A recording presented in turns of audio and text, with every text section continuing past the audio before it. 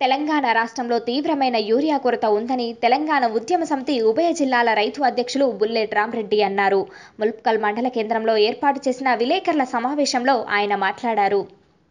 వరి పొలాలు నిండు పొట్టదశలో ఉన్నందున నేడో రేపో యూరియా పొలానికి అందించినట్లయితే తీవ్రంగా పంట నష్టపోవాల్సి ఉంటుందని ప్రైవేట్ మార్కెట్లో యూరియా కొందామంటే బస్తా యూరియా మూడు వందలకు పైనే అమ్ముతున్నారు. పైగా రెండు యూరియా బస్తాలు కొంటే ఒక సంచి పొటాషియం కొనాల్సిందేనట. అసలే రైతులు ఇప్పటికీ తమ దగ్గర ఉన్న డబ్బులు మొత్తం భూమి మీద పెట్టుబడులు పెట్టి తమ దగ్గర కొద్ది డబ్బులతో యూరియా కొందామంటే పలు సొసైటీల్లో యూరియా లేదంటున్నారు. మనిషికి అవసరమయ్యే బీరు విస్కీలు దొరుకుతాయి కానీ అన్నం పెట్టే రైతుకు యూరియా దొరకదు. ప్రభుత్వం రేపటిలోగా యూరియా అందించినట్లయితే రైతులందరినీ కలుపుకొని ఆందోళన చేపడతామని ఆయన హెచ్చరించారు. ఇక ఈ కార్యక్రమంలో సాకలి నడ్పెన్న ఆకుల రాజన్న గడ్డం రమేష్ యాదయ్య తదితరులు పాల్గొన్నారు. నేడు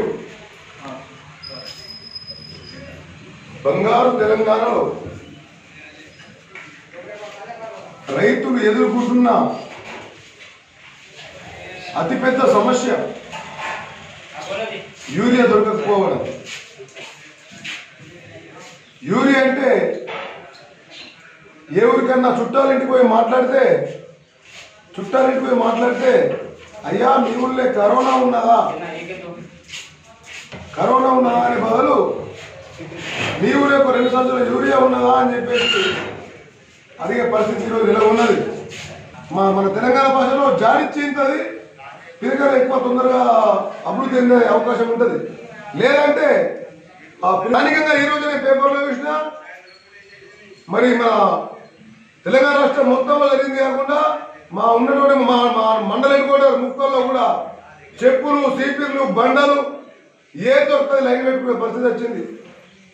మరి ఎంత సిగ్గుసేటు మరి వ్యవసాయ అధికారులు సరైన నివేదిక పంపించట్లేదా?